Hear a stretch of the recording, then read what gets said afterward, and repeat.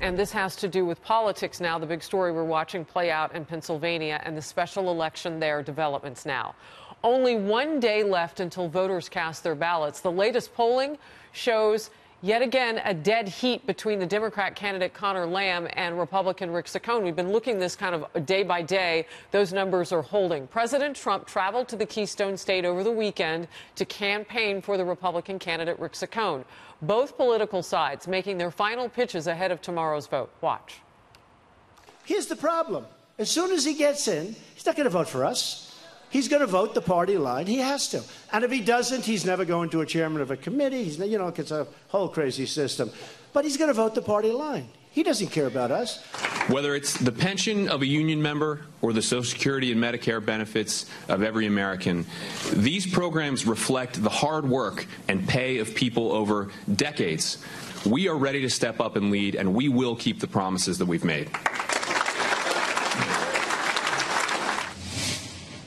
All right, let's bring in the power panel now. RNC spokeswoman Kayleigh McEnany, former director of strategic communications for Hillary Clinton, Adrienne Elrod. I want to get straight away. Uh, Kayleigh, why is this race so tight?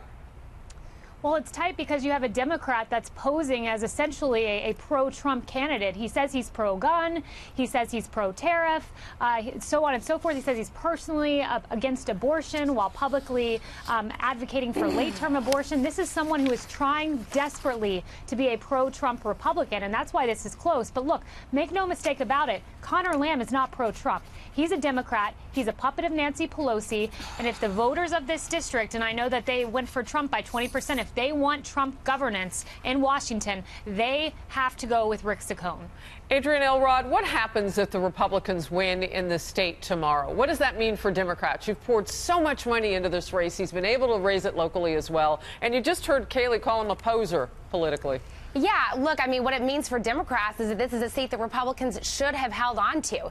Let's be clear, there may be a slight Democratic voter registration in this district, which is what, what the Republican pushback tends to be. But McCain carried this district, Romney carried this district. Trump, as Kayleigh noted, won, won by 20 plus points. Mm-hmm. So the fact that if Conor Lamb even comes within one or two points of, of, winning, this is a huge, huge fail for Republicans. All right. The president calls him Lamb the Sham. Uh, Kayleigh, what does it mean that they have a, a, a candidate that needs to do all of these things away from, oh, I'm not going to vote for Nancy Pelosi, away from the left moving left?